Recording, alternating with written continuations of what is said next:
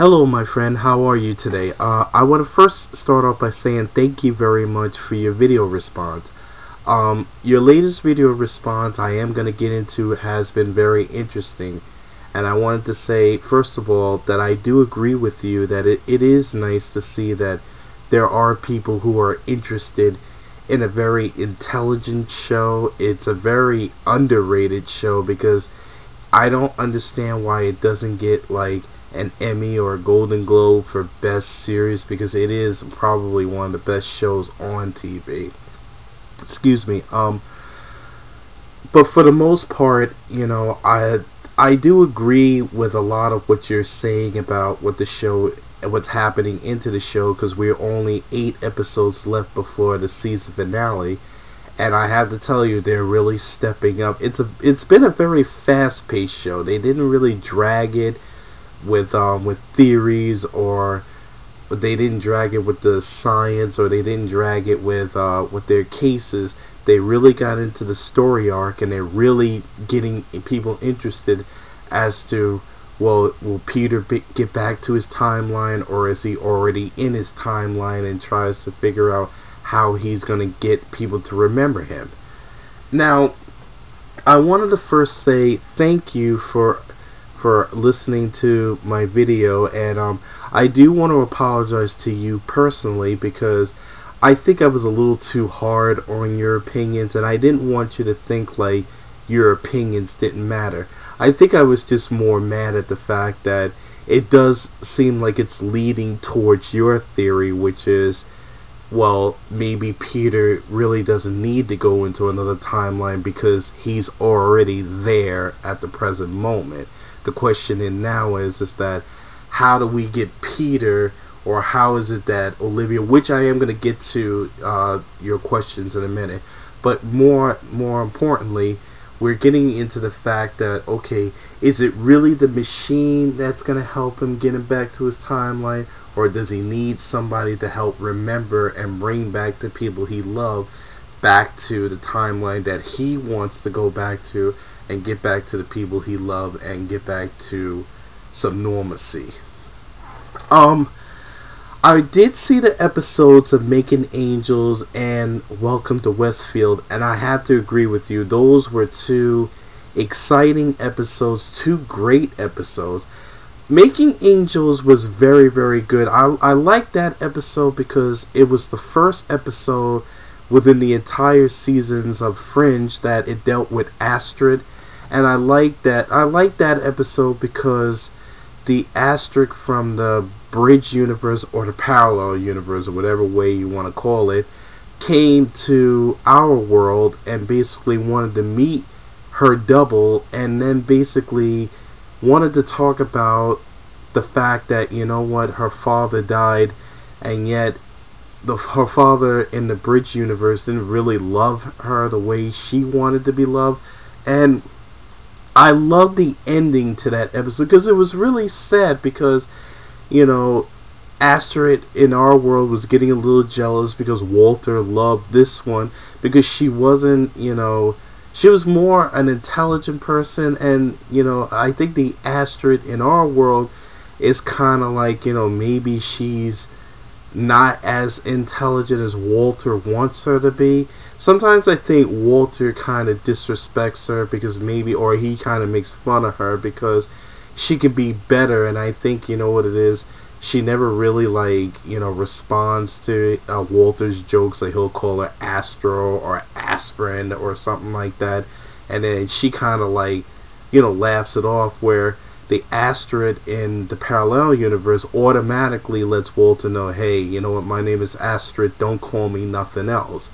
So I kind of like that that there were two there were definitely the Astrids were two different uh, personalities.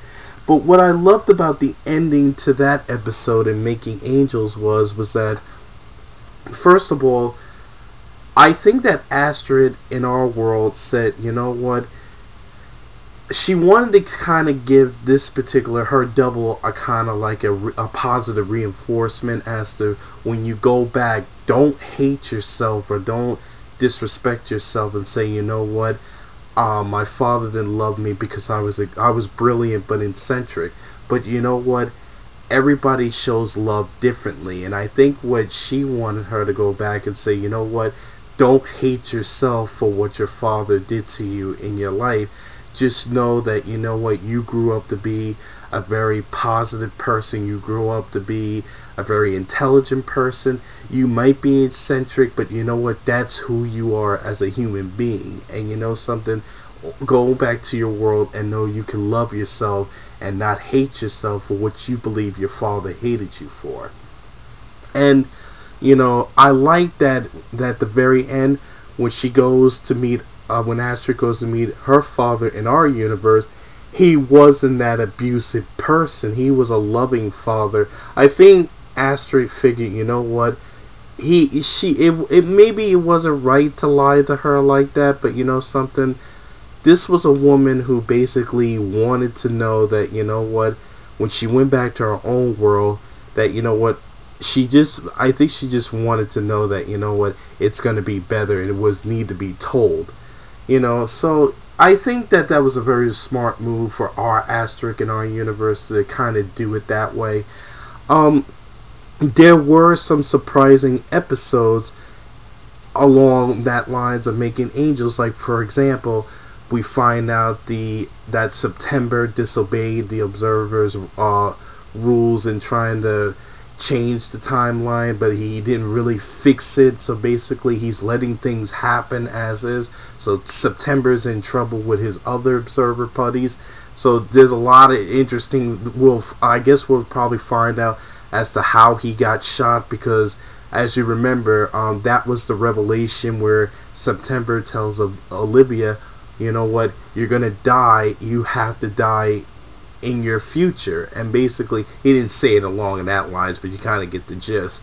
But you know, the point is, is that you know, right now September is making enemies, and you know, a lot of people are not happy about what he did. And then we come to the most important episode, which even Entertainment Weekly gave an A plus on, which is Welcome to Westfield. And I have to agree with you that Welcome to Westfield was a great episode, and I love the shocking revelation at the end when we find out that Olivia seems to remember that she's in love with Peter. Now, it does go back to your theory, which is okay, you know what? Like you said in the beginning, why does Peter need to go into a time machine when basically maybe the timeline he doesn't really have to go back because he's already at his own timeline. He just has to get people to remember him. So the question is, why now are, is Olivia remembering? Does it have to do with massive dynamic? Does it have to do with the fact that they have been playing with her brain and maybe for some reason, you know, maybe they're trying to keep Peter in this particular timeline? And again, like you said, you know, maybe the timeline maybe we're looking too deep into the timelines. Maybe we just need to look at the characters themselves. Because i guess they keep i guess you know what it is with a show like this. I think the timelines like you and i have been debating on is that we seem to be looking at the timelines. And like you said we don't really know if there is a timeline because there's so many timelines happening at once. Even when they're in their case files, there seems to be timelines where in the Westfield episode, the parallel universes seem to be linking together, becoming as one. Then there was, like I told you before, the uh, uh, previous case where a professor was playing with timeline to, to go back, keep going back into time, but for a short amount of time, just to be with his wife that he loved because she had Alzheimer's, I believe, or something to that lines. But it's just the interesting fact that you know what, a lot of timelines are happening here, or I should say, or time paradox is being played with here. The idea that there's so many timelines happening at once. I don't know if the writers want us to say, you know what, you draw your own conclusions as to how many timelines there are. You might see two, I might see three, uh, someone else might see just one timeline and there really isn't any. But, you know, for the most part, I hope that the show doesn't get too cryptic like that because then it, like you said, it does get confusing because for all I know, there could be three or there could be four. Because the only reason why I believe there's so many more timelines is because it goes back to what Walter is saying. Walter does believe in his theory that there are variations of us in many universes. So depending on how many universes are in the galaxy, we'll never know. It's only I think only maybe Walter can figure that out. Maybe William Bell can figure that out. But you know what? As of right now, we just know that there are doubles in this particular world that we're in. Which is, okay, they discovered a parallel universe, and now we're in our universe. And then, of course, Peter brought the Bridge universe together. So, you know, right now, as to answer your question about how I felt about the Westfield episode, I really thought it was very, very exciting. It was very, very like like Alice in Wonderland type of episode, but you know something because she had a hard time getting back to as you remember the storyline, Alice had a hard time getting back to her own world. So it was like that. It was a very, very good episode. And what I also love was the shocking revelation because if you if I don't know if you saw the promo for epi- for the for the next episode for the uh, to be a better human being, I think that's what it's called. Well, that's what they have for the title. Um, there was a, a scene in that promo episode where you saw Peter wearing a suit, that black outfit, the same outfit that he was wearing when he tried to get into the machine the first time before the, the machine didn't want him to get in. So this machine was very sensitive.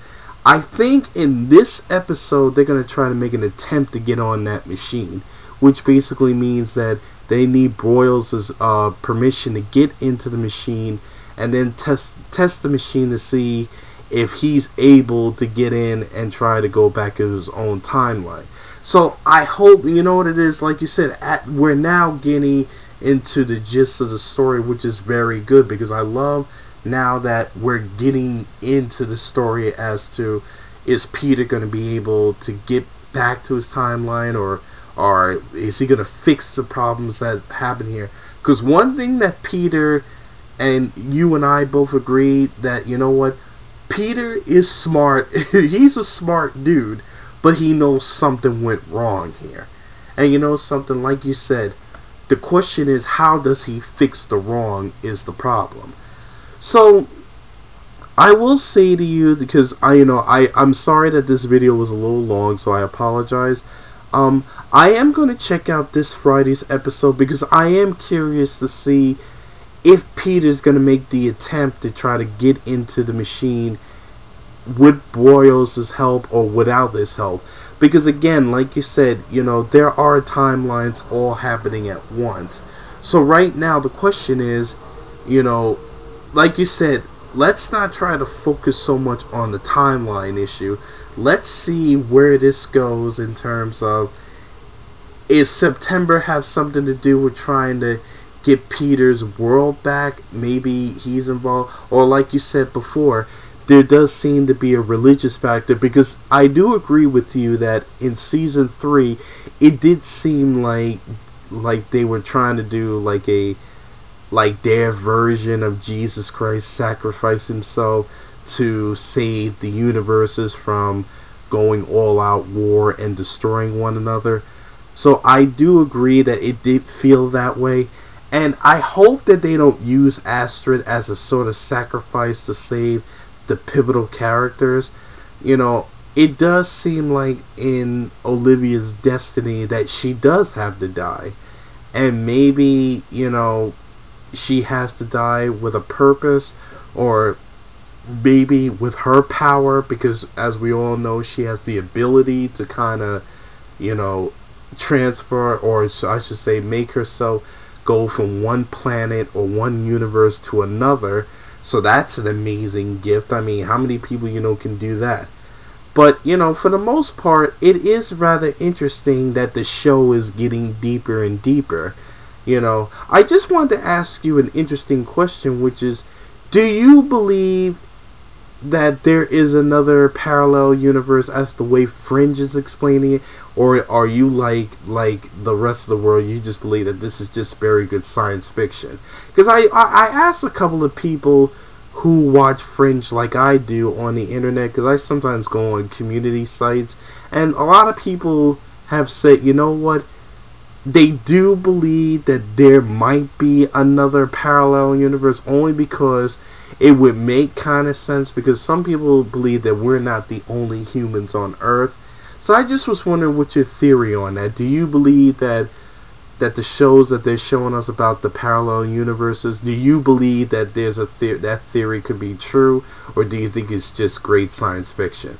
So I just wanted to know your personal opinion on that one, and um, like I said, you know, I am gonna follow these episodes because it is getting really good, and I, you know, something for the most part, I have to tell you that it would be disappointing if they cancel this show when the show is getting this good. So the fringe writers are getting us into you know we got eight episodes left it's getting really really good you know i know we have to wait till like may eh, which kind of sucks because i i wish we didn't have to wait that long but you know we had to wait until they get to 22 episodes so you know before i call this video to an end i just you know want to say thank you again for your video responses so this is an open letter for part two. You know, I hope that you take the time and you know I apologize again for it being so long. I guess because I get so into the story and like you said it does keep me intrigued. So, you know, I'm glad that two friends are able to talk about it and respect one another's opinions. So that's a great thing too. So, I'm going to call this video a close. So, you know, again, you know, my my final point on all of this is you know something the episodes are being well written and you know right now as as to what i see is going on i do believe that massive dynamic does have something to do with olivia saying i love you. But then again you know like you said before we are still in maybe we're still in the same timeline and maybe her memory is coming back. Because you notice now that everyone's memories seem to be coming back.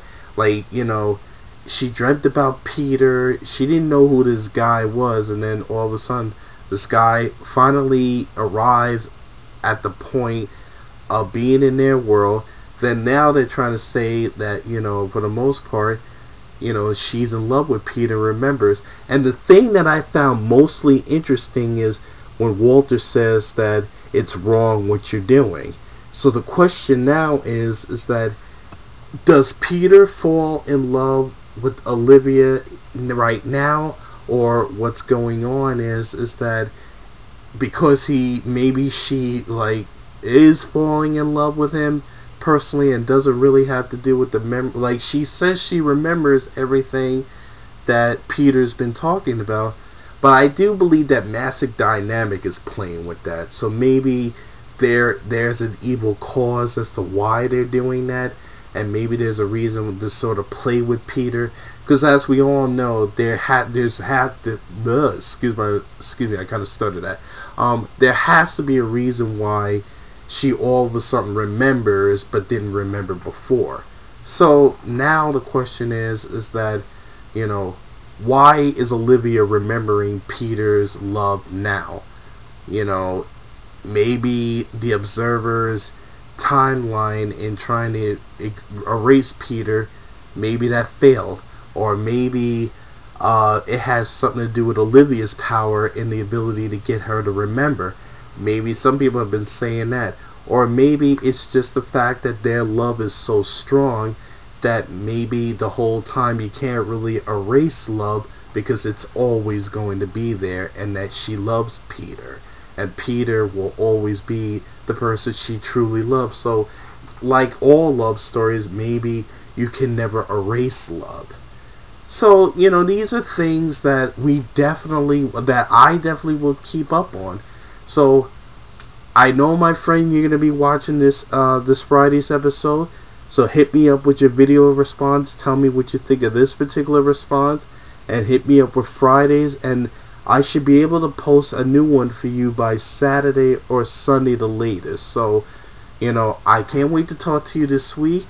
You have a wonderful day and a great week and take care of yourself, my friend. And it's glad to know I'm glad to know that there's someone else out there who loves the same things as I do. So take care of yourself and God bless you.